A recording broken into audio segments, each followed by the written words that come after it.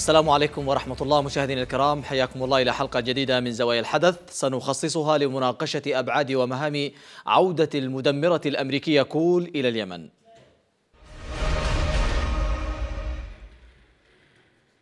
المدمرة يو إس إس كول واحدة من أحدث القطع البحرية الأمريكية تعود إلى المياه الإقليمية اليمنية هذه المرة بإذن مسبق من البنتاغون للتعامل مع أي تهديدات للملاحة الدولية.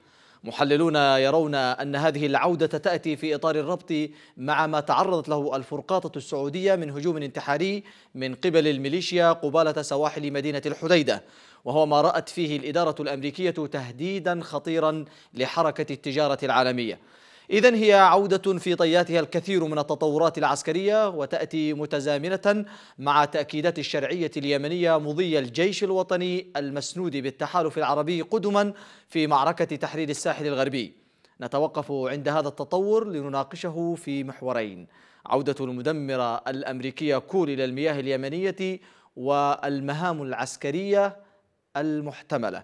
وأيضا الإدارة الأمريكية الجديدة تغيير الرؤية وفرص الحسم العسكري. قبل النقاش نتابع هذا التقرير.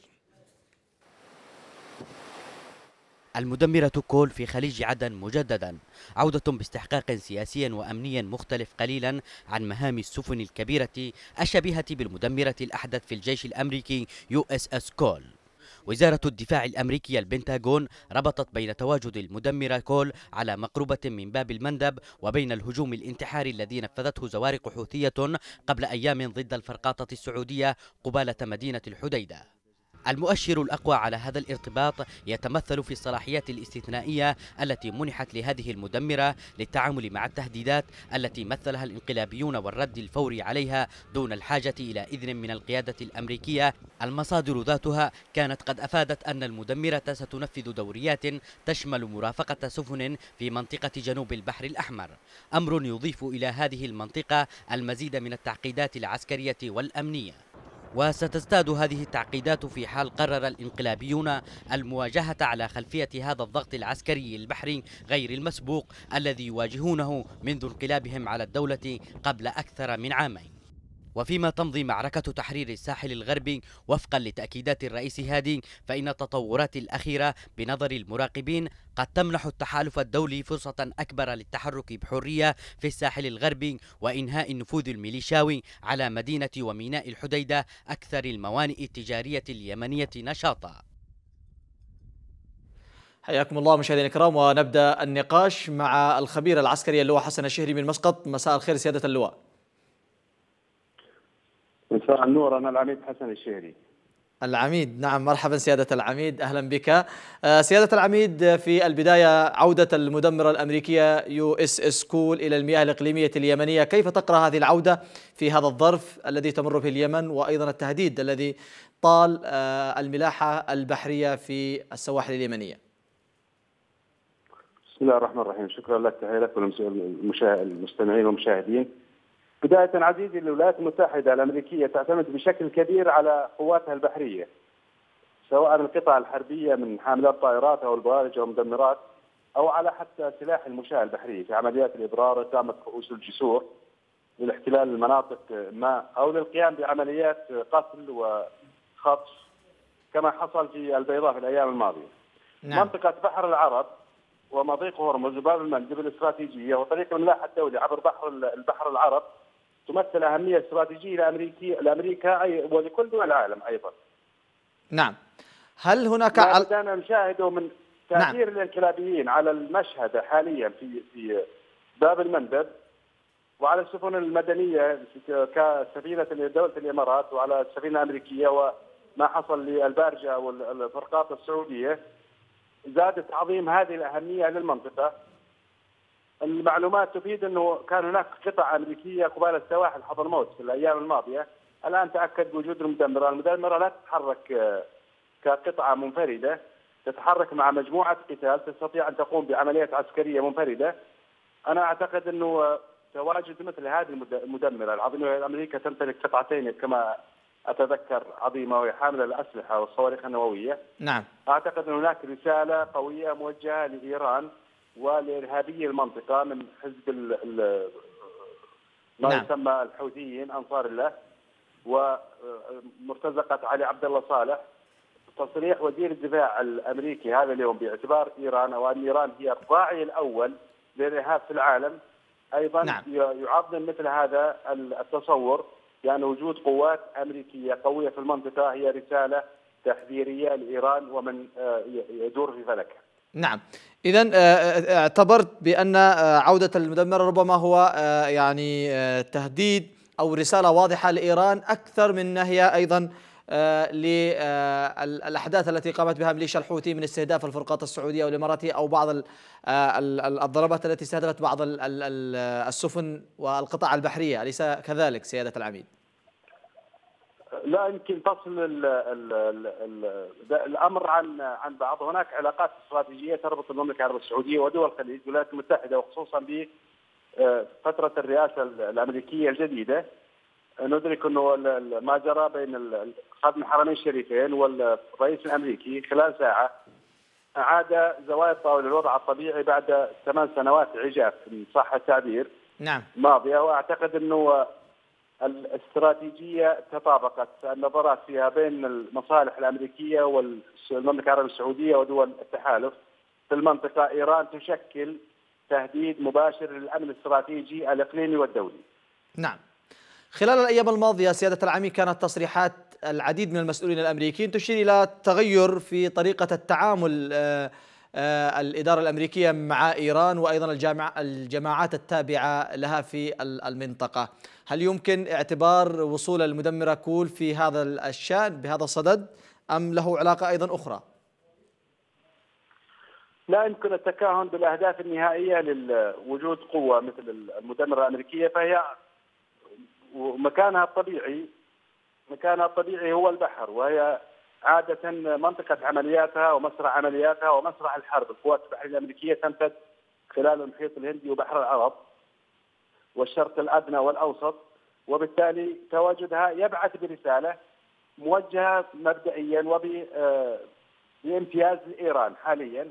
ولكن تواجدها في المنطقة أيضا يبعث بالأمان والاطمئنان لدول التحالف كدعم استراتيجي لأي عمليات لاحقة. نعم. طيب سيادة العميد تكرم بالبقاء معي. نشرك معنا في الحديث الدكتور آه، آه، محمد جميح المحلل السياسي. مساء الخير دكتور محمد. دكتور محمد جميح مساء الخير. دكتور محمد هل تسمعني؟ ألو؟ مرحبا دكتور محمد جميح أهلا بك معنا في زوايا الحدث. دكتور محمد قراءتك أنت في البداية لعودة المدمرة الأمريكية يو إس إس كول إلى المياه الإقليمية اليمنية بعد أن غادرت ربما قبل 20 عام تقريبا. أنا لا لا أسمع الصوت. الصوت نعم. دكتور محمد نعم. سؤالي فيما يخص عودة المدمرة الأمريكية يو إس إس كول إلى المياه الإقليمية اليمنية بعد أن كانت قد غادرت قبل 20 عام تقريبا. نعم هو تفهم آه هذه العودة في سياق التوترات الأمنية التي حصلت في البحر الأحمر وفي سياق أيضا التوتر العلاقات الأمريكية الإيرانية، الأمريكيون اتهموا صراحة على لسان مستشار الأمن القومي الأمريكي إيران بدعم الحوثيين التي الذين سموهم الجماعة الارهابيه التي تدعمها إيران. طبعا يفهم ذلك في سياق تغير السياسة الأمريكية على الأقل التغير الظاهري فيما يخص العلاقة مع إيران. الرئيس ترامب قال إن إيران تلعب بالنار وقال بأنها تشكل خطرا على الولايات المتحدة وعلى حلفائها ومفهوم التغير الجديد الظاهري على الأقل الذي أدى إلى توترات وحرب كلامية بين إيران والولايات المتحدة و آه، وجود أيضا آه، بعض ردود الأفعال التي تمثلت في مناورات وتدريبات عسكرية هنا وهناك في الخليج العربي. نعم. آه, آه نعم نعم أكمل نعم نسمعك. نعم فيما يخص الحوثي الحوثيين يعني بالنسبة للأمريكيين يعني بدأت حدة الخطاب تجاههم من خلال هذا التصريح الذي جاء على لسان مستشار الأمن القومي الأمريكي وكان بعد تقريبا استهداف السفينة أو فرقاط السعودية. الحربية السعودية في البحر الأحمر قبل أيام. نعم. يريد الأمريكيون أن يرسلوا رسالة لإيران ولحلفائها بأنهم موجودون حسب توجهات الإدارة الجديدة في المنطقة ويريدون أيضا أن ربما يستعيدوا نوعا من التحالفات من زخم التحالفات التي ربما أن اداره الرئيس الامريكي السابق آه، في نظر الكثيرين قد أهدرت هذه التحالفات وفرطت فيها الأمر الذي أتاح الفرصة لتوسع إيران اقليميا.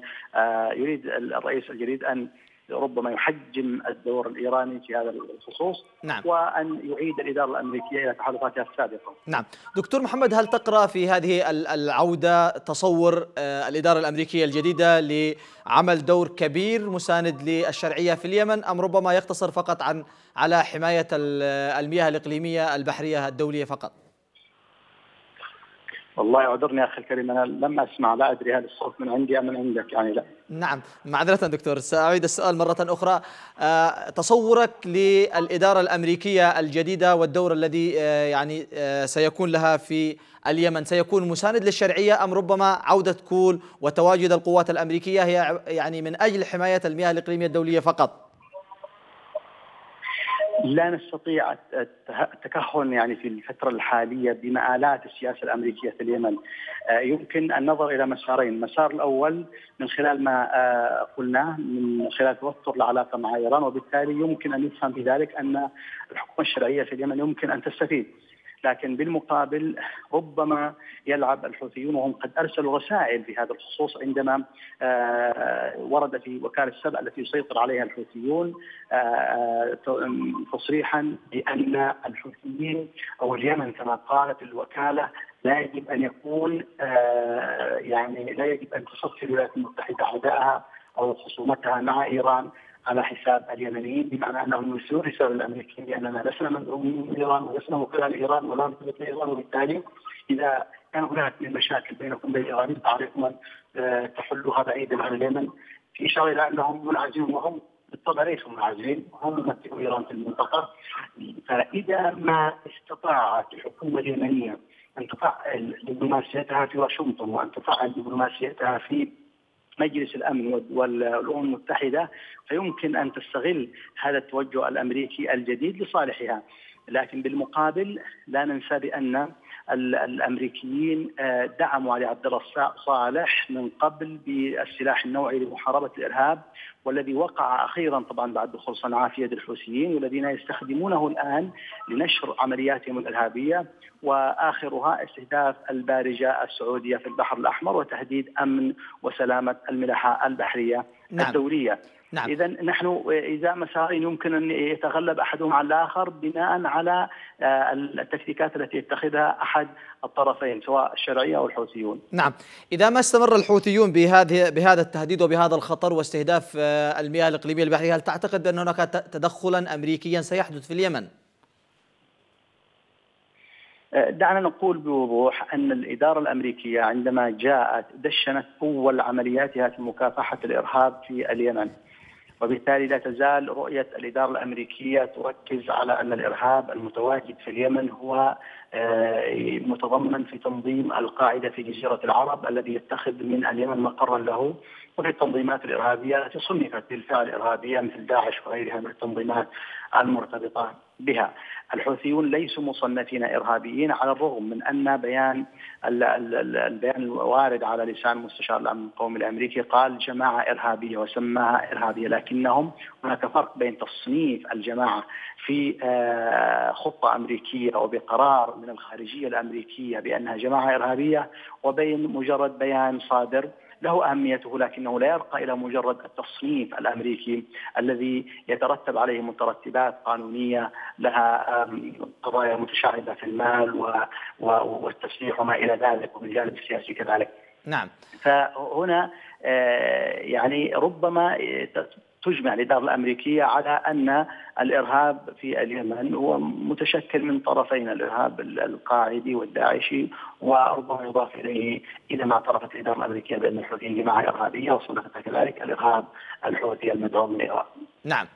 الدكتور محمد جميح المحلل السياسي شكرا جزيلا لك. كنت معنا عبر الهاتف من الرياض. عودة إلى مسقط مع سيادة العميد محمد حسن الشهري عفوا. سيادة العميد هل باعتقادك عودة المدمرة كول إلى المياه الإقليمية اليمنية سيكون يعني لها دور رقابي من أجل الحد من إيصال الأسلحة وتهريب الأسلحة من قبل إيران لليمن. أم سيقتصر فقط على حماية المياه الإقليمية والسفن التي تعبر من السواحل اليمنية فقط؟ هناك ثلاث ركائز في الموضوع أو ثلاث أبعاد.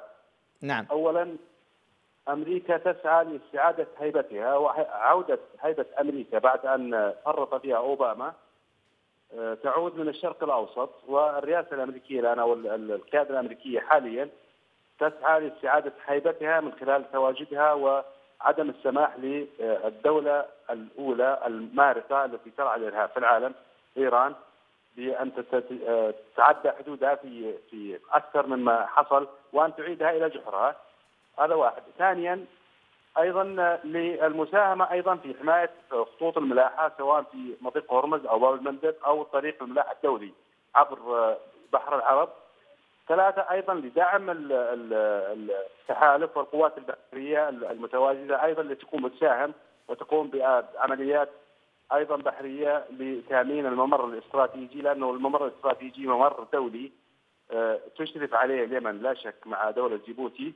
ولكن هو مسؤوليته مسؤولية عالمية وبالتالي آه، لو لا قدر الله أغلق مضيق آه، باب المندب نعم. أكثر الدول المتضررة هي جمهورية مصر الشقيقة وبالتالي أنا من هذه القناة أدعو القوات المصرية البحرية الشقيقة أن تشارك بفعالية في في في في الأعمال العسكرية البحريه في بحر البحر الأحمر وفي مضيق باب المندب وأيضا بحر العرب لأنه إذا تضرر باب المندب فستكون الخسارة الكبرى على دولة دولة مصر وهذا ما نتمناه ستغلق قناة السويس سواء ذهابا أو ايابا لأنه هذا الممر هو الأهم أهم شريط مائي في العالم تقريبا يمر من خلاله 40% نعم. أو أو أو نسبة قليل منها النسبة للتجارة العالمية والبترول. نعم.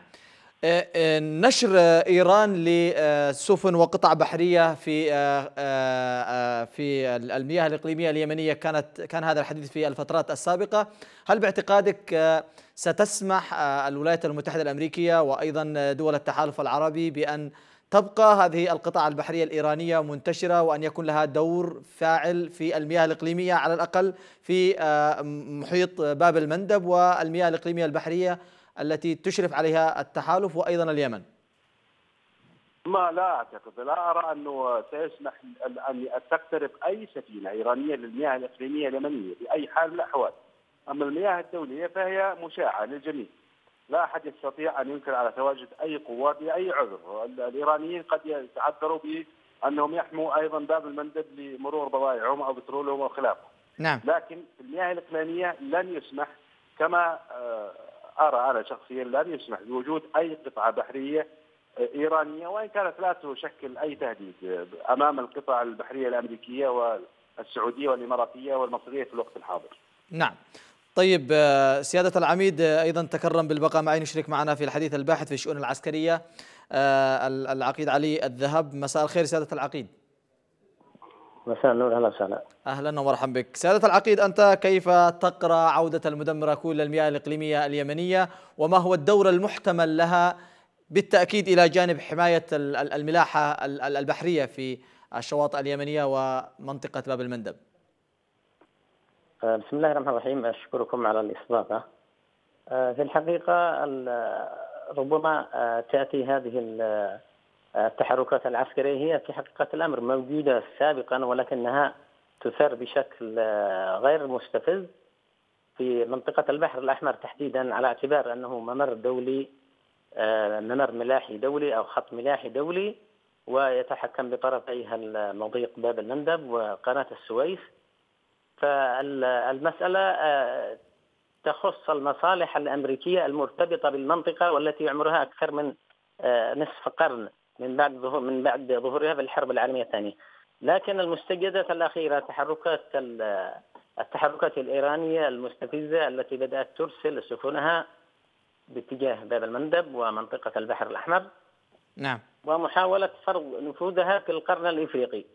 وقد شكلت آه، طبعا وجود لها في علاقات مع إثيوبيا ولها آه، يعني حضور في إريتريا في بعض الجزر. وهو يأتي في سياق التنافس بين مجموعة من القوى التي تندرج تحت آه، نعم.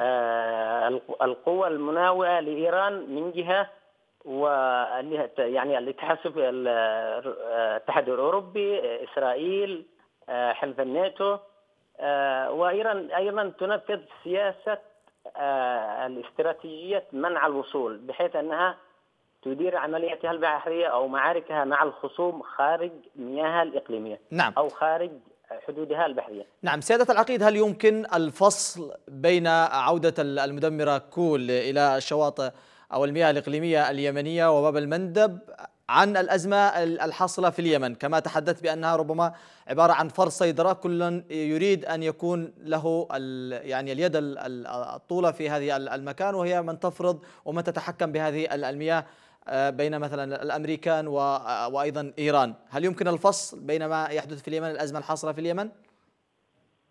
المسألة أنا أتصور أنها تعزيز حضور آه، بشكل مستفز لأن الوجود الأمريكي حاضر في منطقة البحر الأحمر وفي مضيق باب المندب وفي خليج عدن وهي خاصة مع ظروف نشاط القرصنة التي حدثت خلال العشرة السنوات الماضية. حد شاركت الولايات المتحدة في مع حلف الناتو والاتحاد الأوروبي في عمليات مشتركة إضافة إلى وحدات عربية ومن دول المنطقة ومن دول من أستراليا ومن اليابان في مكافحة القرصنة. لكن آه، عندما نتحدث عن وجود عسكري بهذا الشكل هو تعزيز لحضورها لأنها هي أصلا موجودة في هذه المنطقة. ليست لمواجهة إيران فقط ولكن للحد من المطامع الروسية التي تتحالف في نفس الوقت مع قوى أخرى قد تكون إيران فيها لأن المنطقة تمثل الحزام الجنوبي للاتحاد السوفيتي سابقا روسيا حاليا. فالقضية إذا أردنا أن ننظر لها أنها تأتي ردة فعل معلنة إزاء التصرفات الإيرانية الفجة وأذرعها في المنطقة والاستهدافات التي طالت بعض القطع العسكرية البحرية. نعم. كاستهداف المدمرتين الأمريكيتين في أكتوبر واستهداف الفرقاطة السعودية نعم. في قبالة السواحل اليمنية في قبل بضعة أيام. نعم. سيادة العميد حسن الشهري هل يمكن اعتبار عودة البارجات الأمريكية إلى المياه الإقليمية في باب المندب والمياه الإقليمية اليمنية مستفزة كتلك التي تقوم بها إيران من نشر بعض البارجات في خليج عدن وفي المياه اليمنية وأيضا باب المندب في المنطقة بشكل عام. بداية نسيت أن أوجه تحية للدكتور محمد جميح والأخ علي وقد أبانوا وأفادوا. نعم. لكن أنا لست مع طرح سؤالك ليس المقارنة إيران بدول التحالف وأمريكا والدول التي ترعى السلام نعم. يعني يكون لها يد طولة في في المكان. إيران ليس لها يد طولة نعم. في في في عمل الخير إنما في عمل الشر. هي ترعى الإرهاب فقط. نعم. وبالتالي أنا أعتقد كما أشار الأخ آه، علي إنه روسيا تتخذ من إيران ورقة ضغط وهذه السياسة. لكن نعم. وجود القوات الأمريكية ما أعتقد إنها آه، مستفزة. للمنطقة هي وجودها وجودها للتأثير وليس للاستفزاز. أنا أعتقد أنه وجود القوات الأمريكية البحرية بهذا الحجم حاليا ستترك من إيران ومن خلف إيران لتراجع. ليس خطوات وإنما مسافات طويلة إلى الوراء لأنه العملية الآن أصبحت آه، واضحة. كما ذكرت الإدارة الأمريكية الآن إن أرادت تستعيد هيبتها فتستعيدها من منطقة الشرق الأوسط وقد ساهمت إيران في ضياع أو في التفريط في هيبة أمريكا مع الثمان سنوات العجاف الماضية أنا أعتقد أنه المملكة العربية السعودية الآن هي الركيزة الأساسية لاستعادة هيبة أمريكا في منطقة الشرق الأوسط في تحالف استراتيجي قائم له أكثر من سبع عقود. نعم. آه، أشكرك آه، سيادة العميد حسن الشهري كنت معنا عبر الهاتف من مسقط وعودة أخيرة إلى العقيد علي الذهب الباحث في الشؤون العسكرية. آه، سيادة العقيد أنت أيضا هل هل ترى بأن هناك استفزاز من عودة البارجات الأمريكية إلى السواحل اليمنية بعد أن كانت قد غادرت قبل عشرين عام؟ أعود وأؤكد مرة أخرى أن الاستفزاز هو استفزاز إعلامي.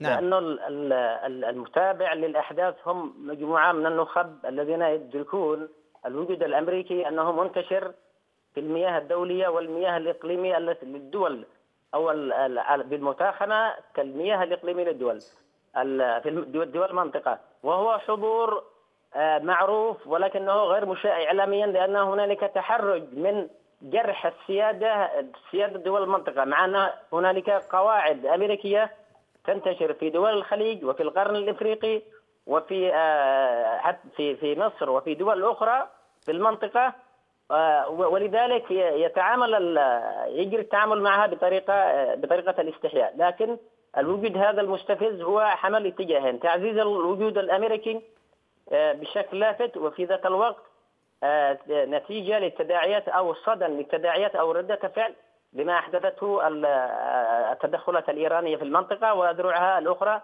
وعلى رأسها طبعا الحوثيون في اليمن الذين يجرون معارك الصاروخية باتجاه الملاح البحرية واستهداف السفن المدنية والعسكرية. نعم. هذا التواجد سيادة العقيد سؤال أخير هل هو يعني لمصلحة التحالف العربي والشرعية في اليمن أم تقرأ غير ذلك؟ أنا بصراحة لا أؤمن بالصداقة الصداقة الأمريكية التي تؤثر العدو العربي الأول الكيان الصهيوني على المصالح العربية في المنطقة منذ أكثر من خمسة عقود.